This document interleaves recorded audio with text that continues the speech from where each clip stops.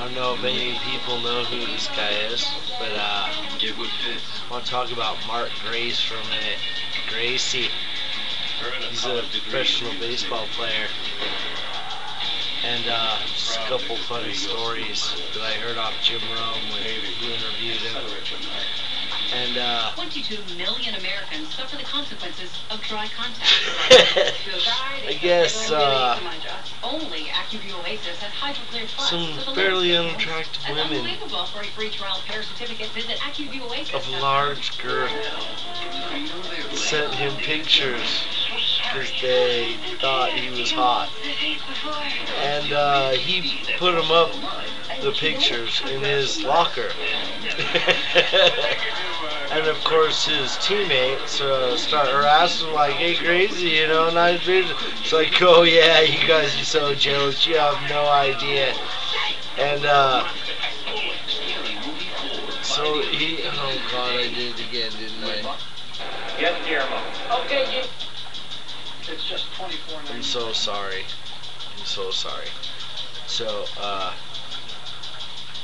yeah, they're harassing about these pictures of these cows in his locker. He's like, oh, you're so jealous. You know you're jealous, you bastards. And he's giving them a hard time back. And so his team kind of went into a slump. And, uh, he's talking to Jim Rome. He goes, well, how do you get out of the slump? He goes, there's only one thing to do, man. You go for the slump buster. And Jim starts laughing. He goes, you'll have to explain what a slump buster is, though, buddy. He goes, oh, you find the gnarliest, nastiest, baddest, ugliest, just the wickedest girl you could possibly find, and uh, you just lay the wood to her. and that way it turns around your karma. And Jim, of course, laughing. And he goes, it's also called slump busting or throwing yourself on the grenade for your team. so the next interview, he goes, you guys uh, almost went into a slump. I know she pulled out. It wasn't from slump busting, was it? He goes, oh, it was definitely from slump busting. I just did it because I knew it was coming. And Jim's like, oh God, Gracie, why do you do this to me?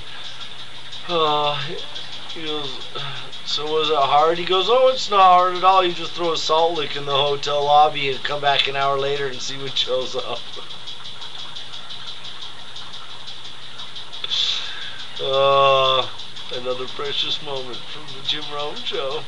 Just thought I'd let you know because it's damn funny and I just remembered it. Good night now.